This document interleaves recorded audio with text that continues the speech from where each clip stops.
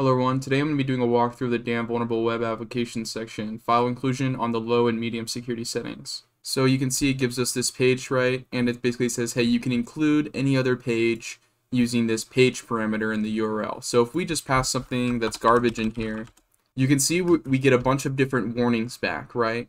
So it and in this warning, it looks like it passes us the current working directory, which is this FI directory. So we can use this information and we can also combine that with the dot dot backslash or forward slash. This pretty much just signifies, hey, we want to go back a directory. So we can say, hey, I want to go back a directory, back a directory, back a directory, and back another directory.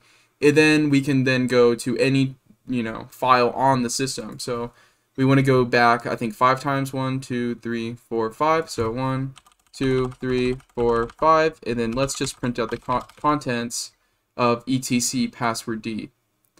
And you can see it gives us the file contents of this file. So this contains all the users. We can do host name, host name to get the host name of the computer. So we can see it's metasploitable.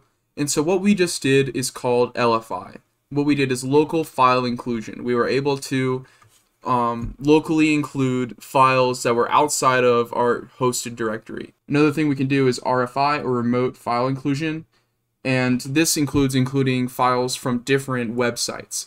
So let's go ahead and go up here and let's do https whoops www.google.com. And you can see we're able to include this google.com page, right? And now it's not really functional, but we were able to include it. Since we confirm we are able to exploit RFI, let's include a reverse TCP backdoor that grants us a shell. I'm going to leave this GitHub link in the description for the PHP shell. You want to scroll down and you want to download this and you want to change this IP. So I already have this downloaded and I already have it edited, so I'm going to close out of that. I'm going to go back to the file inclusion and what I'm going to do is, is I'm going to open a terminal up. And in, in one terminal, I'm going to use Python. So I'm going to do Python dash M for H, HTTP server.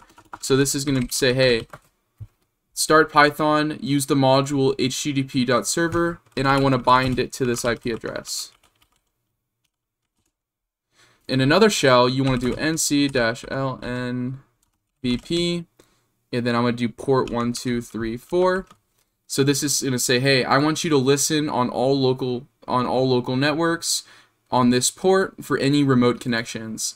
And then so we have this directory, right? So let's go to this. I'm going to copy this. And then in this directory, you can see there's that backdoor.php. So I'm going to add that here. And now what I'm going to say is I'm going to put this whole URL in the include statement. And then I'm going to press enter you can see that it's spitting here and it looks like it's working. So let's go ahead and go to, um, oh, I didn't press enter. Let's go ahead and go here. Let's refresh. And there we go. So now we have a shell. So now I want to stabilize the shell. So I'm going to check to see if Python's installed.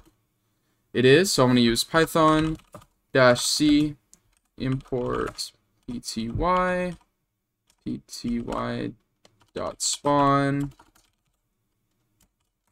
slash bin bash.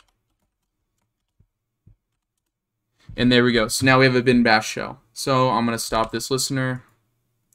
I'm going to keep this open for now because we're going to need that later. I'm going to close out of this. So now I'm going to change the security settings to medium and let's go ahead and go over that. Back to file inclusion. And let's try the same thing, right? So let's go ahead and do, we want this one. And then it says failed to include, and then it says 192.168.076 backdoor.php. But you can see down here that the PHP, or I'm sorry, the HTTP in front of this is missing. So we don't see that HTTP um, signifier. So let's go ahead and view source. And you can see all it's doing is it's replacing that HTTP or HTTPS keyword with nothing. So it's just replacing this with nothing. So how do we exploit this? So what we can do is, if it only replaces this word, what we can do is we can say, okay, yeah, you replace this word, and before that, we're just going to say HTTP, and then after that, we're going to do colon slash slash. So what it's going to do is, it's going to replace this keyword in the middle, right, HTTP colon slash slash, it's going to replace that with nothing. which is going to leave us with this whole complete URL. So let's go ahead and press enter. Oh wait, before we do that, let's go ahead and start our session. And then let's go back up here and let's press enter. And you can see once again, it says successfully opened a reverse shell. You do who am I? And there we go, it's working. So I hope you guys enjoyed. This was um, a video going over RFI and LFI. If you guys want me to take a look at anything else, please let me know.